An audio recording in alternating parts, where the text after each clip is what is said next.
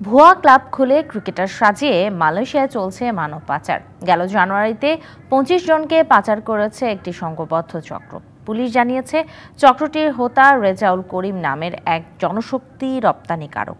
তাকে সহযোগিতা করছে দ্বিতীয় বিভাগে খেলা দুই ক্রিকেটার। মালয়েশিয়ার মানব পাচার বিষয়ে আলোচনা করতে আমাদের সাথে এই মুহূর্তে সরাসরি যুক্ত আছেন Bangladesh association of international recruiting agencies বাইরার মহাসচিব শামীম আহমেদ চৌধুরী, নোমান। শামীম আহমেদ চৌধুরী নোমান আপনাকে স্বাগত জানাচ্ছি। একটু জানব এই যে রিক্রুটিং এজেন্সির নামে জনশক্তি রপ্তানিকারকদের হাত ধরে মানব পাচার হয়ে যাচ্ছে। মালয়েশিয়াতে একটি বড় কর্মক্ষেত্র বাংলাদেশের এবং এই বাজারটি কিন্তু সবচেয়ে বেশি দুর্নীতিগ্রস্ত হচ্ছে। যার ফলাফল কর্মীরা যে অথবা না যেতে পেরে দিতে হচ্ছে আসলে। এই ক্ষেত্রে আপনাদের মনিটরিংটা কেমন?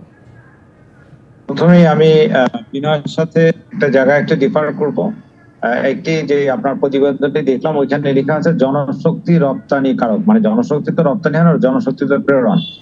জনশক্তি প্রেরণ খাতে আমরা যারা কাজ করি তারা কেউ এই ঘৃণিত কাজের সাথে আমরা জড়িত নই।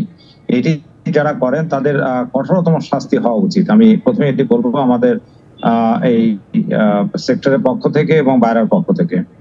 সেই জন্য বলছি যে আমরা যারা এই মালয়েশিয়াতে কর্মী পাঠাই বা যে, যারাই আমরা বিভিন্ন দেশে কর্মী পাঠাই না কেন, সেটা সরকারের দুই দেশের গভর্নমেন্টের অনুমতি সাপেক্ষে সেটি আমরা পাঠিয়ে থাকি এবং সেখানে ভিসা এবং তাদের যে অন্যান্য ব্যবস্থাগুলো থাকে, সেগুলো ব্যবস্থা করেই পাঠানো হয়। তো সেখানে আমাদের আমাদের প্রেরিত কর্মীরা কোনোভাবেই আমরা কোনো কেউ, কোনো আমাদের রিক্রুয়েন্সি মালিকরা বা তারা কেউ মানব পাচারের সম্পৃক্ত নয়।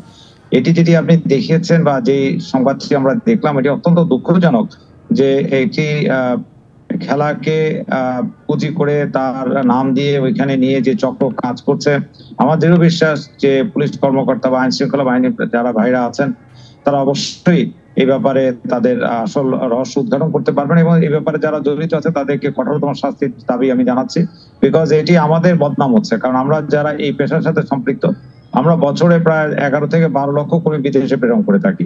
এবং সেখানে যে রেমিটেন্স বাইশ থেকে পঁচিশ বিলিয়ন ডলার রেমিটেন্স এই খাতে আমাদের এই সেক্টরের মাধ্যমে সংগৃহীত হয়। সেই সেক্টর আমরা বৈদেশিক কর্মসংস্থান করছি। আমরা এই সেক্টরের মাধ্যমে আপনার হাইয়েস্ট রেমিটেন্স যেটি main pillar of the national economy সেটি আমরা জিডিপির অলমোস্ট সাত পার্সেন্ট তাহলে এরকম একটি সেক্টরকে নিয়ে যখন এই ধরনের যারা কাজগুলো করেন যেই অসাধু লোকই করে থাকুন না কেন তার কঠোরতম শাস্তি হওয়া উচিত। এবং আমি আপনাকে নিশ্চিত করে বলতে পারি এটার সাথে আমাদের কোনো বিষয় আমি একটু আপনার কাছে জানতে চাইব যে এই যে আপনি বলছেন যে কর্মী পাঠানোর ক্ষেত্রে কিন্তু অনেকে অনেক রিক্রুটিং এজেন্সিও যারা হয়তো বা বৈধভাবে তারা পাঠাতে পারেন না কিন্তু তারা কিন্তু এই সুযোগটি নিচ্ছেন বিশেষ করে মালয়েশিয়ার বাজারটিতে। আপনারা এই বিষয়গুলো নজরে আনছেন কিনা? আপনাদের পক্ষ থেকে কোনো ধরনের মনিটরিং এর ব্যবস্থা রাখছেন কিনা?